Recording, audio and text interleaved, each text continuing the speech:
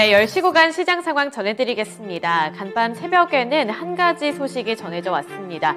이 크레디트 스위스와 관련해서 이제는 스위스가 스위스 UBS가 인수를 하겠다는 소식을 전해오며 은행발 위기가 어느 정도는 진정되는 듯한 모습이 나타나는데요. 급한 불이 꺼지면서 국내 증시도 하락 출발을 했지만 점차적으로 이렇게 낙폭을 줄여 나가고 있습니다. 양 지수 현황 어떤지 코스피 지수부터 함께 살펴보시죠.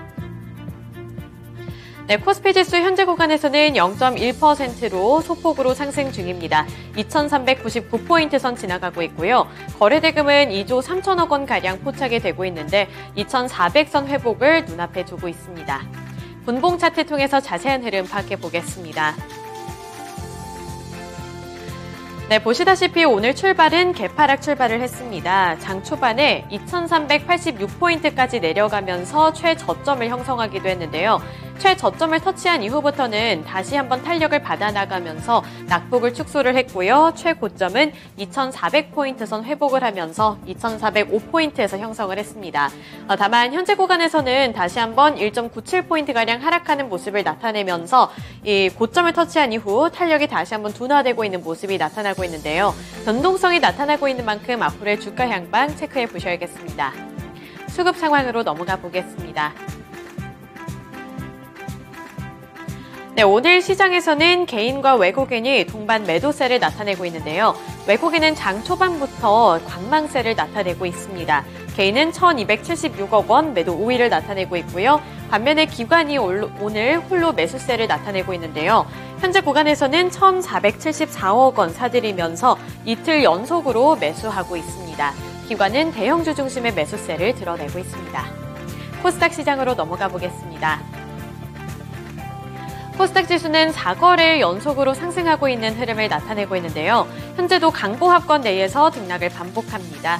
0.34% 오르고 있고요. 801포인트 선 지나갑니다. 거래대금은 5조 1천억 원 넘게 포착이 되고 있습니다. 분봉 차트 통해서 확인해 보시죠. 코스닥 지수 마찬가지로 개장 직후에는 하락 출발을 했습니다. 개장 초반에 791포인트까지 내려가면서 최저점을 터치하기도 했는데요. 다시 한번 낙폭을 축소시키면서 상승 전환에 성공을 했고요. 800포인트를 회복하기도 했습니다. 그 이후에 803포인트까지 올라가면서 고점을 터치했는데요. 이 803포인트에서는 탄력이 잠시 둔화가 되면서 800포인트 선을 간신히 지지하고 있습니다. 수급 상황 체크해 보시죠. 네, 주체별 동향 분석해 보시면 오늘 개인만이 홀로 매수세를 나타내고 있습니다. 1,544억 원 매수 우위를 나타내고 있고요. 반면에 코스닥 시장에서는 외국인과 기관이 동반 매도세를 나타내고 있습니다. 외국인이 1,163억 원 팔고 있고요. 기관은 136억 원 매도하고 있는데요. 외국인과 기관은 전일에 코스닥 시장에서는 매수세를 나타냈었는데 하루 만에 매도 전환을 했습니다. 네, 이어서 특징주 살펴보겠습니다. 오늘 국내에서는 한 가지 호재 소식이 있었죠. 바로 대중교통에서도 마스크를 꼭 착용하지 않아도 된다는 소식이 있는데요. 이러한 기대감 때문에 화장품 관련 종목들이 일제히 급등을 하고 있습니다. 오늘부로 대중교통 마스크 착용이 의무 해제가 됐는데 실외부터 실내 그리고 이제는 대중교통까지 마스크를 꼭 착용하지 않아도 된다는 소식이 호재로 작용이 되고 있는 겁니다. 아, 완전한 마스크 착용 해제는 2년 5개월 만에 있는 일인데요. 이에 따라서 개장 직후부터 오늘 화장품 관련 종목들 잘 가고 있는데 흐름부터 함께 체크해 보도록 하겠습니다. 네, 먼저 토니모리입니다. 토니모리가 7.14%로 가장 큰 폭의 상승세를 나타내고 있고요. 4,950원에 거래되고 있습니다. 토니모리뿐만 아니라, 아니라 클리오 같은 아, 종목들, 특히나 이런 색조 화장품 관련 종목들이 오늘도 시장에서 두각을 나타내고 있는데요. 클리오도 0.82% 오른 19,700원에 거래되고 있고요. 아무레퍼시픽 같은 대장주들도 오늘 큰 폭의 탄력을 받아나가고 있습니다. 아무레퍼시픽이 3.16% 오른 13만 400원에 거래되고 있고요. 아무레퍼시픽 우선주는 3.78% 오른 42,600원을 터치하고 있습니다. 그 다음으로 한국 화장품이 3.53% 오른 7,920원을 터치하고 있고요. 한국 화장품 제조가 2.57% 오른 29,950원에 거래되고 있습니다. 또 이츠 한불도 2.95%로 3% 가까이 되는 상승세를 나타내며 17,000원 구간에서 움직이고 있고요.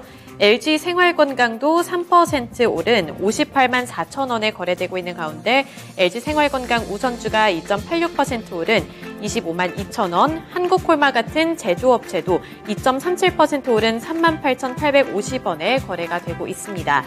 연우와 같은 이 화장품 용기와 관련되어 있는 종목도 오늘 큰 폭의 탄력을 받아나가면서 4.55% 오른 16,550원에 거래되고 있습니다.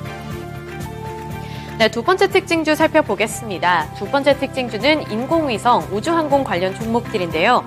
우주 정책 등을 총괄할 우주항공청 설립을 두고 여야가 처음으로 함께 머리를 맞대겠다고 나섰습니다. 어, 하영재 국민의힘 의원은 성공적 우주항공청 설립을 위한 특별법 세미나를 개최하겠다고 밝혔는데요. 이 세미나는 여야와 과학기술정보통신부가 공동으로 주최하고 주관할 예정입니다. 이 우주항공청 설립특별법은 지난 2일에 입법 예고가 됐고요. 우수 전문가 채용을 위한 파격적인 보수 체계, 또 연구개발 산업 활성화를 위한 조직 유연화 특례, 국가우주위원회 위원장을 대통령으로 격상을 해서 컨트롤타워 역할을 수행할 수 있는 등 한국판 나사의 큰 그림을 그리고 있는 만큼 오늘 이 기대감이 주가에까지 반영이 되고 있습니다. 대표적인 종목들 체크해 보겠습니다. 우선 첫 번째로 AP위성이 오늘 가장 크게 오르고 있습니다. 10.23% 오른 23,700원에 거래가 되고 있고요. 또 관련 종목으로 인텔리안테크가 있는데요. 인텔리안테크도 3%대 상승률을 기록하고 있습니다. 현재는 2.27% 오른 9만 원을 터치하고 있습니다. 캔코아 에로스페이스가 2.86% 오르면서 16,200원에 거래되고 있고요. 제노코도 2.91% 오른 23,000원에 거래되고 있습니다. 네, 마지막 특징주 살펴보겠습니다. 백화점 그리고 면, 면세점 관련 종목들이 오늘 빨간별을 켜내고 있는데요. 인천공항 면세점 일반 사업자 후보가 정해진 가운데 후보자로 선정된 기업들의 주가가 일제히 오르고 있습니다. 지난 17일 인천국제공항공사는 신세계 DF와 호텔신라, 현대백화점 면세점 등 세 곳을 면세점 일반 사업자 후보로 선정했다고 밝혔는데요. 증권가는 이와 관련해서 인천공항 면세점 입찰 관련 불확실성이 해소됐다며 valuation 매력도가 높은 신세계와 또 순수 면세기업인 호텔신라를 특히 주목해야 한다고 평가했습니다. 이 세 가지 기업들 오늘 주가 흐름 굉장히 탄탄하게 잘 가고 있는데요. 첫 번째 종목으로 호텔신라부터 보겠습니다. 호텔신라가 4.52%로 상승폭을 확대해 나가면서 현재는 76,300원에 거래되고 있습니다. 그 다음으로 신세계 살펴보실 텐데요. 신세계도 2.42% 오른 21만 1,500원에 거래되고 있고요. 마지막으로 현대백화점도 2.3% 오른 5만 3,400원에 거래되고 있습니다. 네, 이렇게 세 가지 키워드 통해서 특징주들까지 알아봤고요. 지금까지 10시 구간 시장 상황이었습니다.